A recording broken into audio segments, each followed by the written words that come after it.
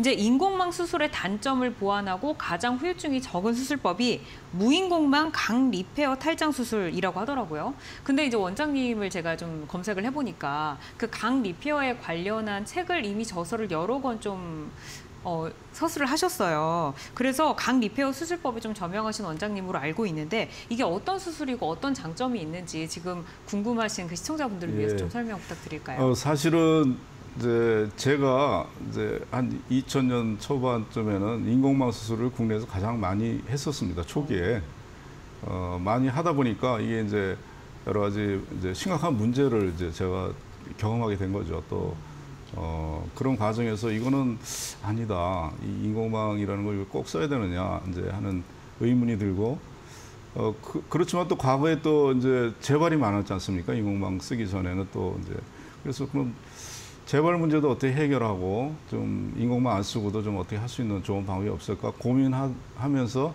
사실은 강 리페어 탈장 수술이 이제 제가 이제 개발을 한 수술법입니다.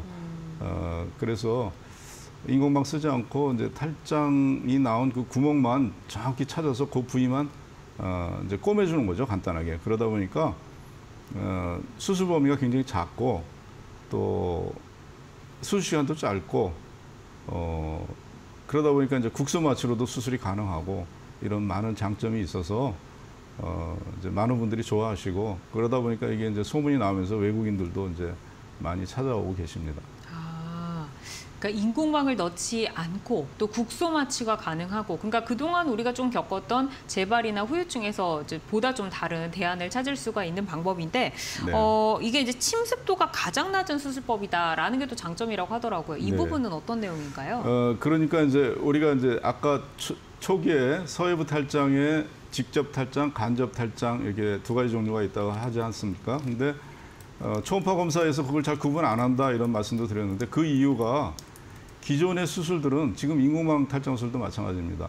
간접 탈장, 직접 탈장을 구분을 하지 않아요. 뭐 간접 탈장이 생겨도 뭐 전체를 다 뭐 어떻게 손을 보고 직접 탈장이 생겨도 전체를 다 봐 버리니까 다시 말해서 우리 집과 옆집이 이제 있다고 그럴 때 우리 집이 고장 나면 우리 집만 고치면 되는데 옆집까지 다 이제 다 손을 대버리고 옆집이 고장 나면 또 우리 괜히 우리 집까지 다 이제 이러다 보니까 수술 범위가 이제 클 수밖에 없지 않습니까?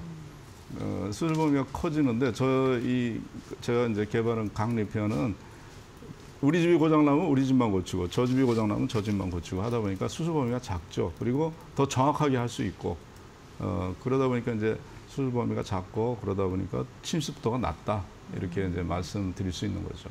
상처도 적게 짤 수 있고 수술 시간도 짧고 이런 여러 가지 이제 장점이 나타날 수 있습니다. 아, 우선은 지금까지 있었던 그 탈장 수술법 가운데서는 가장 침습도가 낮은 수술법이다라고 말씀을 해주셨는데 그래도 또 우리가 환자 입장에서 보면 수술이라는 단어만 들어도 무섭거든요. 병원이라는 단어만 들어도 가슴이 조금 떨리는데 어, 어떤 점을 조금 우리가 알고 가야 할지 궁금해요. 수술하는 분들이 가장 많이 좀 물어보는 질문, 환자들이 가장 궁금한 내용 좀 준비를 해오셨다면서요. 네네.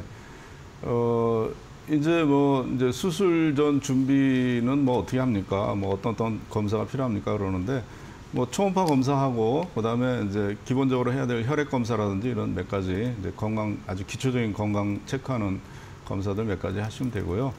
어, 어떤 분들은 이제 CT로 또 살짝 진단을 하는데 그거는 CT는 방사선 피폭을 받기 때문에 그리고 초음파 검사보다 좀 정확도가 떨어집니다. 그러니까 초음파 검사 하실 걸 권해드리고 수술 시간도 또 얼마나 걸리냐 그러는데 보통 이제 이런 인공망 탈장 수술은 한 40분에서 1시간 사이 이렇게 보통 걸립니다. 근데 어, 강리피어 탈장 수술은 그 수술 범위도 적고 이렇게 하기 때문에 한 10, 15분에서 20분 정도 보통 걸리고 있고요.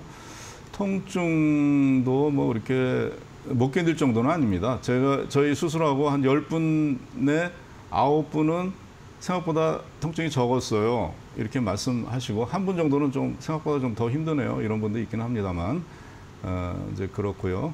입원 기간은 이제 당일 퇴원도 이제 가능해서 거의 3분의 2 정도 되는 분은 이제 당일 퇴원하시고 이제 하루 저녁 주무시고 이제 연세가 많거나 이제 좀 본인이 또 염려되시고 하는 분은 이제 뭐 하루 저녁 내지는 뭐 한 2박 3일 정도 입원하시는 분들도 있습니다.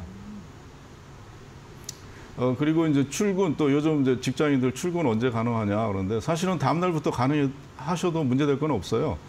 어, 그리고 실제로 저희가 이제 환자분한테 확인했더니 한 수술 받은 분 10분 중에 4분은 다음 날부터 이제 출근했다 이렇게 답변을 하시는 분도 있고요.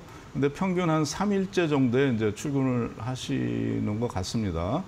그리고 통원 치료는 이건 뭐 병원에 따라 이것도 물론 이제 다르겠지만 저희 같은 경우는 어 한 이제 저희가 이제 시- 실로 꼬매지 않고 그 피부 상처는 이제 요즘 이제 저 의료용 본드가 있어요. 그거를 매니큐어처럼 싹 발라드리기 때문에 어 이제 실을 뽑고 할 필요가 없기 때문에 보통 이제 수술이 한 2주 정도 지나서 한 번 정도 방문하시면 되고요.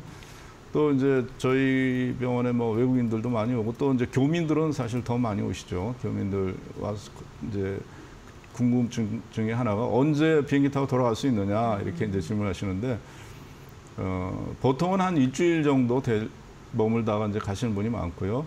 어, 그런데 사실 이제 다음날 비행기 타도 사실은 문제는 없습니다. 어떤 분들은 이제 비행기 타면 고공에 올라가면 뭐 기압 차이 때문에 상처가 터지는 거 아니냐 뭐 이런 얘기를 하시는데 그거는 이제 의학적으로 맞는 말은 아니고요. 어, 전혀 상관없고 어, 이제 경과 관찰을 하기 위해서 뭐 한 일주일 어떤 분은 한 2주 정도 국내에 머물지만 사실은 다음 날부터 다음 날 비행기 타고 가셔도 됩니다. 네. 이제 운동과 일상생활에 대한 이야기 예, 운동도? 예, 네. 운동도 보통 이제 탈장 수술 하면은 어 이제 보통 인공망 탈장 수술 같은 경우는 한 6주에서 어 뭐 2개월 까지 이렇게 이제 어. 심한 운동 하지 말라고 그러는데 이렇게 직접 이제 저희 수술 같은 경우는 직접 그, 그걸 부위 꼬매주기 때문에 한 2주 정도 지나면 뭐 모든 운동 다 어, 하시라고 이렇게 말씀드리고요. 그다음에 이제 뭐 샤워 같은 거는 어 이제 의료용 본도 이렇게 해드리고 방수가 다 되어 있기 때문에 다음 날부터도 샤워를 할 수 있습니다. 그리고 어 뭐 일상생활도 뭐 집안에서 생활하시면 다음 날부터 다 하실 수 있고요.